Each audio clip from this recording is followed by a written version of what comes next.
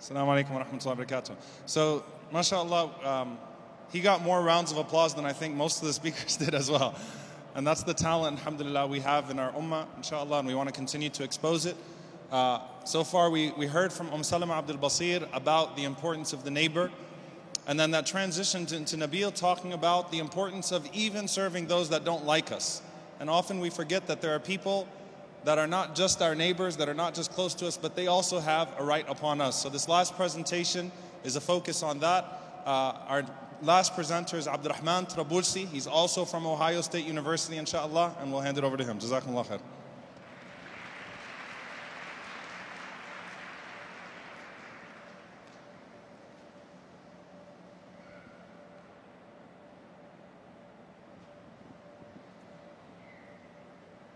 Assalamu alaikum. This is really full. MashaAllah. so, the summer of 2013, I spent uh, working with Syrian refugees and injured civilians in a small Turkish city along the Syrian border called Reyhanli. And as I was walking to the clinic one morning, I ran into two small Syrian girls, two young Syrian girls. And what was interesting is they weren't running an errand, they weren't playing around, they weren't asking for money. They were sitting on the side of the curb, and the older sister, subhanAllah, was teaching her younger sister how to read. Through all their hardship they have suffered, this was their ter- determination to persevere. And what was even more heartbreaking was learning the story behind these two girls. They had lived in Aleppo and had been forced to flee after their father had been killed in an airstrike and their mother raped and shot in front of their own eyes. And unfortunately, we live in a world where these two girls and all the other millions of refugees have been dehumanized. They have been stigmatized by the media. They have been marginalized by our own communities, our own Muslim communities. But they have the same capacity to feel joy, to reciprocate love, to learn, but they have been stripped of that dignity and hope. The refugee condition is not new to our Muslim ummah. It's, it's, it's in our Islamic history. The Prophet Muhammad sallallahu alaihi wasallam and his companions in Mecca, they were spit on, they were tortured, their families were killed, and they were exiled to, due to religious persecution. And these same people who left because of persecution during the time of the Prophet, including the Prophet himself, who are they to us now? They're our role models. We look towards them for inspiration. We look towards the Prophet ﷺ and wish that we could gain an ounce of his prophetic character. Inshallah, we can all see the smile of the Prophet Muhammad ﷺ on the day of Jannah, in Jannah, inshallah.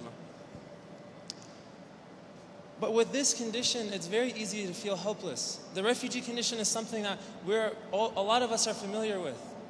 This is a, for me as a Syrian American, it's my family, my friends, for Somalis, for Burmese, Iraqis, our community has been affected by conflict and war, and there are many refugees among us. And it's easy to feel helpless. I remember when I would call my aunt on the phone in Homs and hear artillery and gunfire in the background, not sure if I'd ever get to hear her voice again. I'd feel helpless while working in a field hospital in Syria and two miles away in the distance, I can see a bomb falling from a helicopter, unable to do anything to help. The, the problem is too overwhelming for us that we can't, we can't solve it. But I believe that every single one of us has the responsibility to serve and the capacity to contribute. Allah subhanahu wa ta'ala reminds us of the plea of, of those who are oppressed in the Quran. والمستضعفين من الرجال والنساء والولدان الذين يقولون ربنا اخرجنا من هذه القريه الظالم اهلها واجعل لنا من لدنك وليا واجعل لنا من لدنك نصيرا Oh Allah subhanahu wa ta'ala, the oppressed among the men, women, and children who call out to Allah subhanahu wa ta'ala and say, Allah, uh, uh, remove us from the city of oppressive people and appoint for us from yourself a protector, and appoint from us from yourself a helper. And subhanAllah, we have an opportunity to answer that call. We have an opportunity to be those helpers. And it starts here. It starts by mobilizing our own communities. When I returned from Turkey in 2015 from my medical relief trip, I was very frustrated. I had spent summers working overseas, but it felt very ineffective. I didn't feel like I was actually creating change. I wasn't utilizing my capacity to impact people effectively. So I started thinking, how can I use my capacity as a college student at Ohio State to help refugees in our community? When began to research the issues, saw that there was a huge gap in education. Visited local high schools, conducted surveys, talked to community members, and mobilized a group of stu- colleagues of mine who are also very passionate about the issue. And alhamdulillah, over the last nine months, we have been working on a new organization called Refuge, a college prep program dedicated to empowering resettled refugee youth in their pursuit of higher education, to connect them with positive role models in current college students, to increase their confidence, their abilities, to expedite their social and cultural acclimation, to increase their ability to speak good English, Inshallah, we're launching our program this coming January, our pilot program with 15 students in Columbus. Our program is online. Alhamdulillah. Our program is online. It bridges the gap of isolation, the lack of transportations that refugees faced. There was one refugee I met who would come home to school on the school bus, and her mom worked a late night, a, second shift. She'd come home from, to, from, to, she'd come home her mom had already left for work. She'd go to bed, her mom hadn't come back.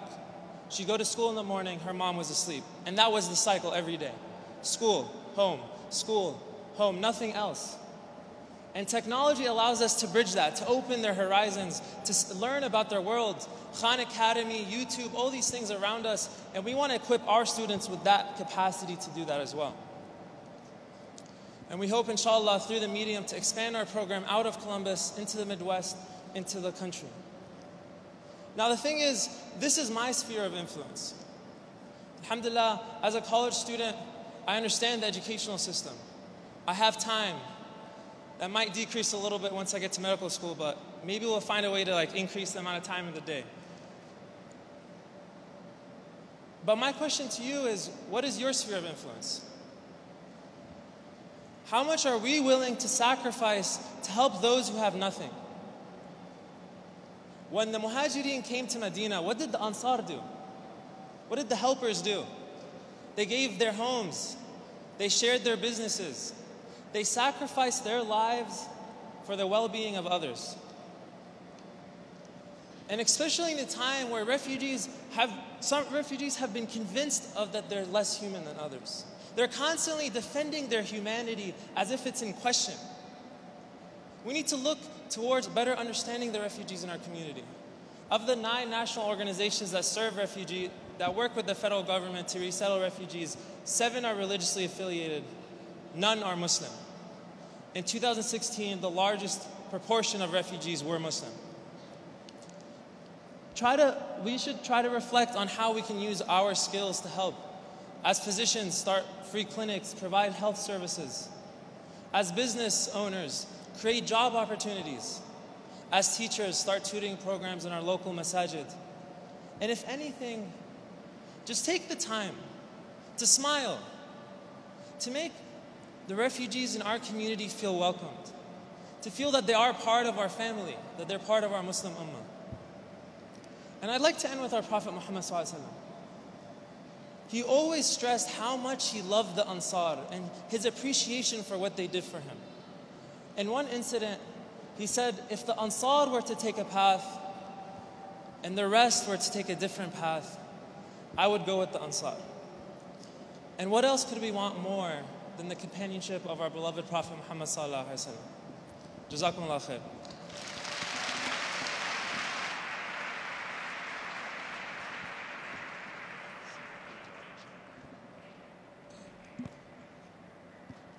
MashaAllah, uh, three incredible presenters, alhamdulillah. Another round of applause for them. They're, walk, they're watching in the green, in the green room. so alhamdulillah, uh, for those of you that haven't heard, Yaqeen Institute for Islamic Research is a new project. Um, our goals are to inspire contribution through conviction. And this is what Confident Muslim is all about. This was our launch, alhamdulillah. And we plan to uh, uh, include these programs all over the world, inshallah ta'ala. Hopefully, more times in Chicago, inshallah. Jazakallah khairan for your support. I'm going to hand it over to the Vice President of Yaqeen Institute as well, Dr. Altaf Husain.